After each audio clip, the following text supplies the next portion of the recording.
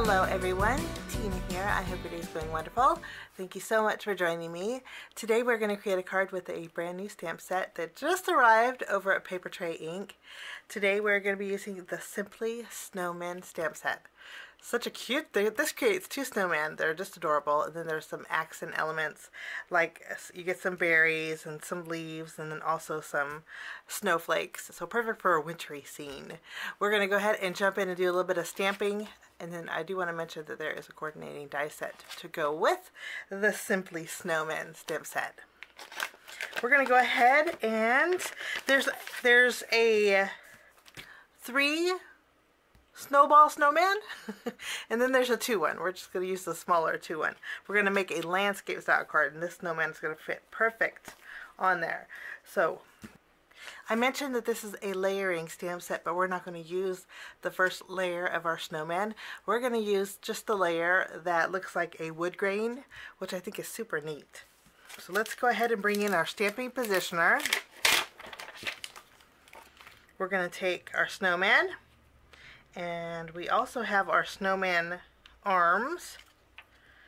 And we'll take, here we go. We're going to take our snowman scarf and then also our snowman hat that we're going to be using.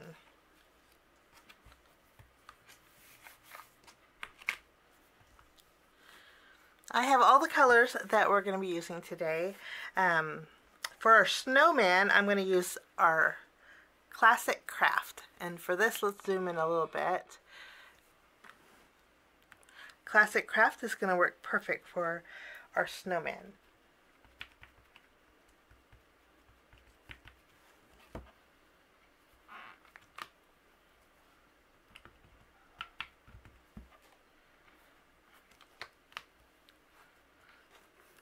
For our snowman's hat, I'm going to bring in Berry Sorbet. We'll stamp this. I love a corally color that this is. And I'm going to also stamp the scarf with that same ink. Wonderful. Okay, now we have our snowman's arm. That's where dark chocolate's going to come in handy. And we'll stamp those as well. Now for the rest of the layers, I'm going to use um, some stamping blocks. I just think it's going to be easier. I love that you can add texture with the second layer of these images. I'm going to take the cap or the, the hat. I'm going to take that woven layer number two for the cap using dark chocolate ink we're going to go over our berry sorbet.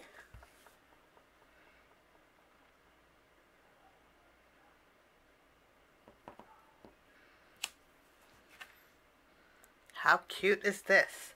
Okay, and then I'll do the same thing with the second layer of our scarf.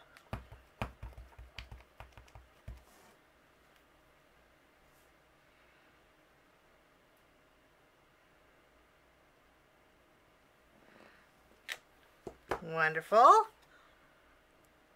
Now we're going to build our snowman. To do that, it's very easy. There's a there's two different happy faces in here. And I'm going to use the, the wider one. I'm going to stamp with my True Black ink. We'll stamp this on the first circle of the snowman. it's so cute. I don't know what it is about snowmen, but they're just adorable. There is a two dot piece.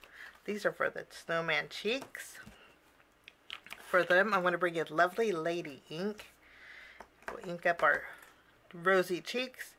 And we're going to stamp this right over the smile. and then, of course, we need a carrot nose. That's where our orange zest comes in. And there's two different sizes of carrot noses. And I'm going to use the smallest one. Getting we're going to stamp this so our nose is facing the left. So cute. We need some coal buttons. So let's take those. There's two sets of buttons. There is a two and a three. I'm going to take the two. Since we have a scarf, we can um, add the buttons just below where the scarf would be. And I think I'm going to use black for this. Wonderful. And our snowman is all done. Quick and easy. There is a die that will cut out the snowman nose, but I think we'll just stamp it. Okay, now in our stamp set also we have some berries. We're going to stamp these a few times with Pure Poppy ink.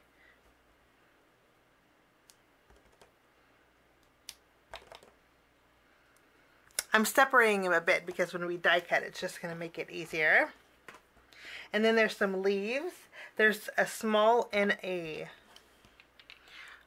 there's two different sizes of leaves. We're going to stamp each of these. I'm going to use simply chartreuse.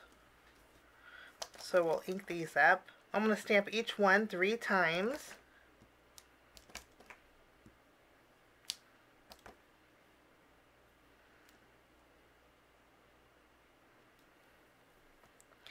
And we'll do the small one as well.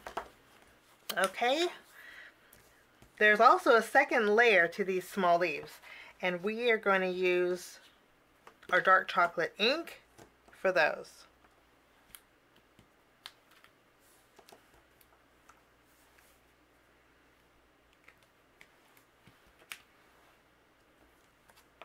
I think dark chocolate's just going to stand out.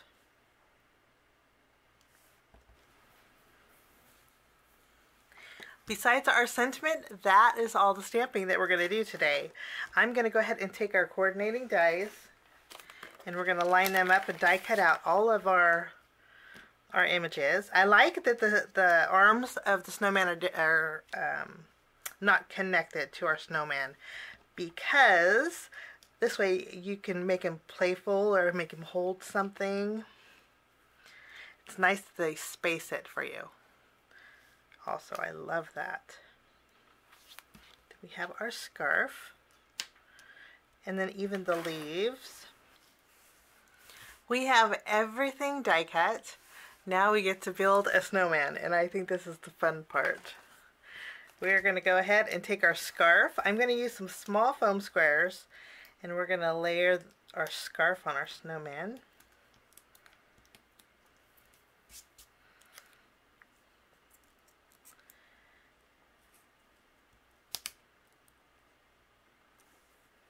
I just think this is so cute. Now he looks nice and cozy. Next I'll take our hat and we're going to add one foam square to the head of our snowman and then we can add our hat. I think I want to tilt it just a little bit like so.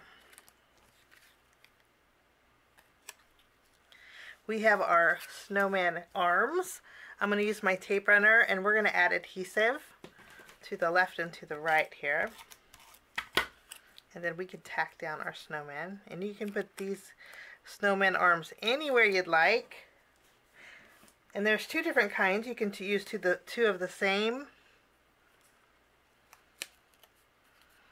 And our snowman is good to go.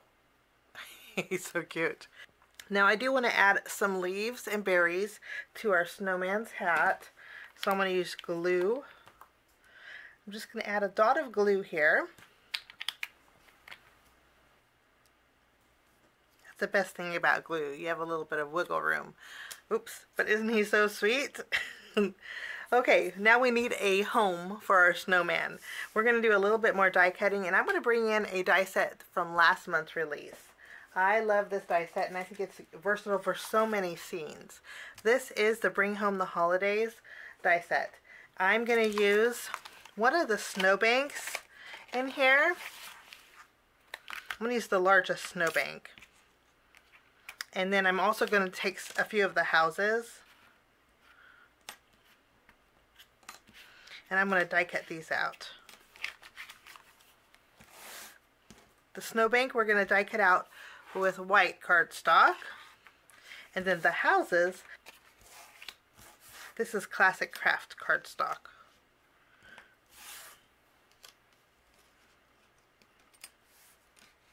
While we're die cutting, I'm going to bring in a brand new die set. This is the Love to Layer Rectangles. Love this. And I like this because you can create a frame with it. So I'm going to take the, um, the two largest. I'm going to use some white cardstock. I'm going to layer them together so I can create a frame. And then I'm going to die cut out just the background one too. Now that we have these die cut, I'm going to go ahead and take some dark chocolate cardstock. And then I'm going to add some dark chocolate behind each of my houses.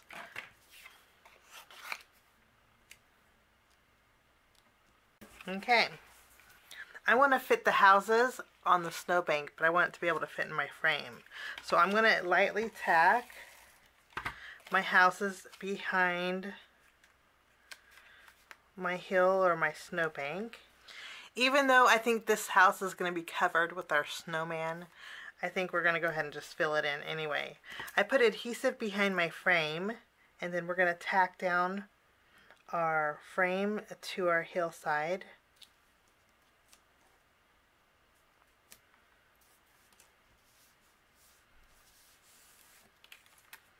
And then the excess that's overhanging, I'm going to trim off.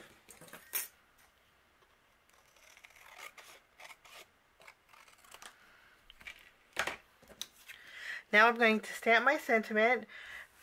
For today's card, I'm going to be using my dark chocolate ink and the sentiment that says, Merry Christmas to all. I think that's a pretty font.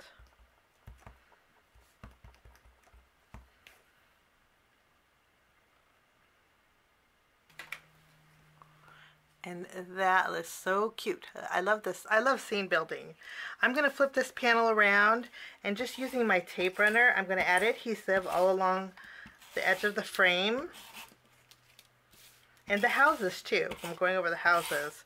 And then I have a piece of Aqua Mist cardstock that will fit behind that window. I'm just going to tack this down right over the top of it. Now we can take our snowman. I put some foam circles behind our snowman already. I'm going to remove them and then we're going to add our snowman to the bottom of our card here. I just love I don't know what it is about snowmen, but they just make me happy. Okay, now we have our extra holly leaves. Kind of looks like a post, a 3D postcard. Okay, we have our leaves and our berries adhered. I'm going to flip this panel around and we're going to put some foam tape behind here. I'm going to bring a little bit of color to the back of my card base. So I trimmed down a panel of Sweet Blush cardstock. This is a four and a quarter inch by five and a half inch long um, panel. It's an A2 panel. And I'm going to adhere this to the front of my card base.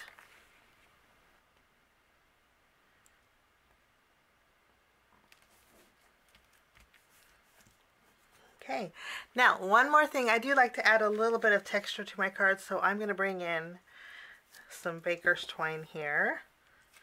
And I'm going to thread it through the side of my card. And we'll just tie a bow up here at the top. Last but not least, I'm going to bring in some diamond stickles. And I'm going to go over the the berries here, give them a little bit of sparkle. And the, also the button on um, our snowman. Should we add some to the stripes too? I'm going to add a little sparkle to the stripes on our snowman scarf. And then that will finish off our card today for Papertrey Ink. The snowman is just adorable. And again, there's a, a, taller snowman too, which is just as cute. The snowman stamp set is called Simply Snowmen and it's part of the brand new release over at the Papertrey Ink Shop. If you haven't had a chance to check it out, I hope you head on over and um, take a look. I think you are going to um, be really inspired. Have a wonderful day. Thanks so much for joining me, and we will see you soon. Bye-bye.